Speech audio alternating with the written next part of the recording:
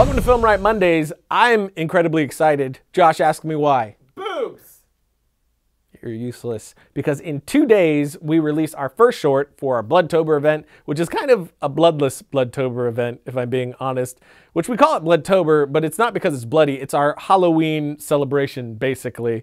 Uh, so we have two horror comedy short films coming out. Don't expect a ton of blood, or really any for that matter, but I am really excited for what we've put together. I think you guys are really going to dig it. So in two days, it's happening. Today. No, not two day. Two in two days. Today. No, in two Coming out on the 12th. today. Two days. Two days. Today. In two days. Coming out today.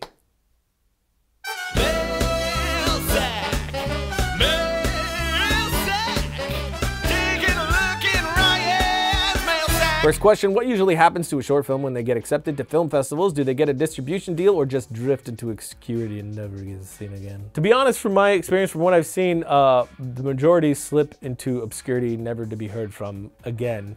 Uh, but I mean, if you think about it, the amount of films that are made yearly versus the amount that find an audience, it's a pretty big divide there. And that's just because there's a lot of noise out there now. There's a lot of people trying to make films, and it's hard to find that marketing, uh, that market in the marketplace. It's uh, there, it's really like a formula that needs to line up very well to, to be able to garner an audience and make that successful. It's why I always say it's like one of the hardest industries to be successful at. So if you're not insanely passionate, you might as well not do it. I mean, even me, I haven't made a feature yet. We're working toward that, working hard towards that, and I'll never stop working towards that. And that's the attitude you need to have that you'll never give up. You'll always work toward that thing. But there, I'm, I'm, you know, realistic too. There is a possibility that that would never happen for me. I mean, eventually I'll make a feature, but maybe it'll just be on my own with no money and it will never have that big of an audience. That's a possibility.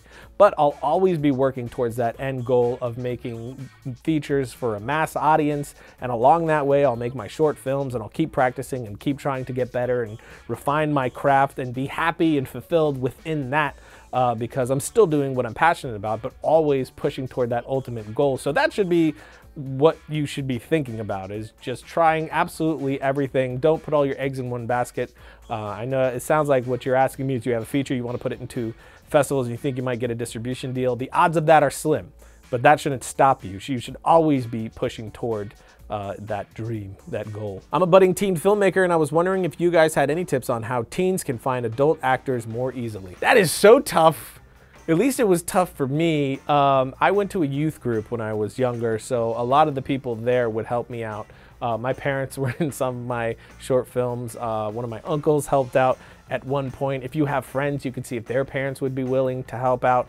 Um, that's the easiest way to do it. I mean, if you're in a school, there's a lot, a lot of places there. Your teachers, um, maybe parents there. You could put it out on boards, or if you have a demo reel of stuff that you've done that's pretty competent, you could always go to local acting schools, show them your demo reel, what you do, what you're trying to do, and see if they'll help you cast it. Find some people to help you actually do it, and then maybe even lock in with somebody who would be down to help you produce it that's a bit older so you can find that age balance. How do you handle data managing on set? In my latest short, we spent hours with downloading the backups of footage.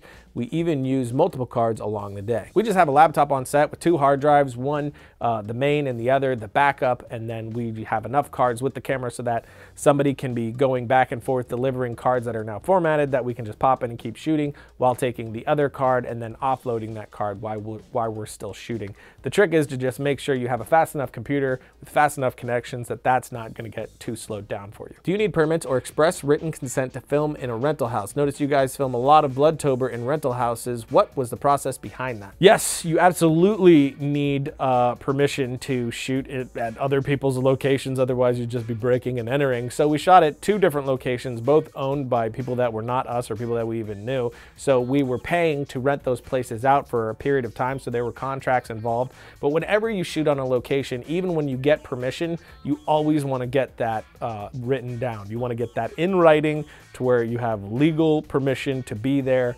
Uh, we've talked about it on the show before that we were almost sued by a place that was very shocking that would be potentially suing us because although they gave us verbal permission, we didn't get that permission in writing because I trusted the place that we were shooting at and we made that mistake, which I will never make again, to trust somebody that we thought was trustworthy. So they tried to sue us after the fact to get our video taken down, but luckily we, uh, you know, had a paper trail already and we did uh, all the smart things other than getting that final written permission. So we didn't have to take it down and we also did not get sued.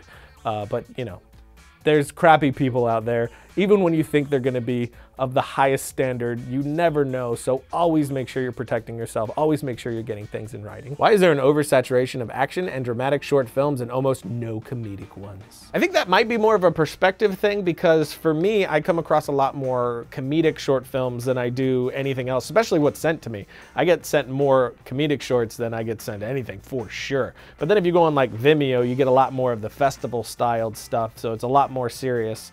Uh, there's tons of sci-fi short films online. Definitely a lot of action, but people make what they're interested in making. Action's a lot of fun to make, but I don't think there's one more than the other. It might just be where you find yourself looking. Last question, how about procrastination? How do you overcome it and how to avoid it in the future?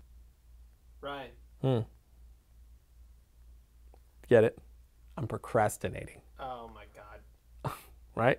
No. Visual Stop. learning. I was really stupid. Learn by doing. I think we've talked about this before. We've we've answered so many questions. I don't even know what we've answered anymore. But basically, deadlines. The answer is deadlines. Give yourself deadlines. Announce it if you have to, so people are holding you accountable, and then you don't have a choice. Uh, so I procrastinate a lot. It is very, I think, especially for creative-minded people, it's very difficult not to procrastinate. Okay, So I'm gonna throw something in. yeah, I'm gonna throw something uh huh. because now, because this has Are we interested. procrastinating right now? No. Okay. Creativity. Mm. In the world of creativity, We're in the world. procrastination Yes. is kind of healthy sometimes, Yes. but in like moderation. Well, that's what we call couch time.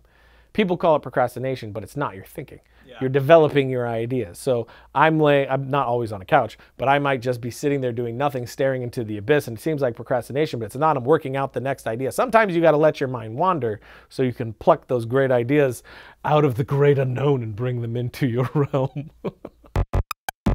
If you're a filmmaker, entrepreneur, innovator of any kind, domain.com is a place to go when that next idea hits you. I know you've heard me say a ton that the available list of domain extensions is growing, but you now have the opportunity to build your brand and name your sites in ways that was never before possible before. You can choose from a growing list of 400 plus domain names like .com, .club, .org, or .net, and they're giving you 25% off their already affordable prices when you use the coupon code FilmRiot at checkout with your web hosting, email, and whatnots. Just use the coupon code FilmRiot, and when you think domain names, think domain.com. So that's it for today, which means it's time for my suggestion of the week. This comes from the same people who made the documentary on the making of Blade Runner. I don't know when they released these. It was definitely a while ago, but they're really great. This one is Alien Evolution. It is obviously on the making of Alien. Really great interviews and a lot of behind the scenes info, so definitely check that out. And don't forget that in two days, we're releasing our first short in the Bloodtober event and we're gonna have some massive giveaways, so make sure you're paying attention to all that so you don't miss out. Till next time, don't forget to write, shoot, edit, repeat.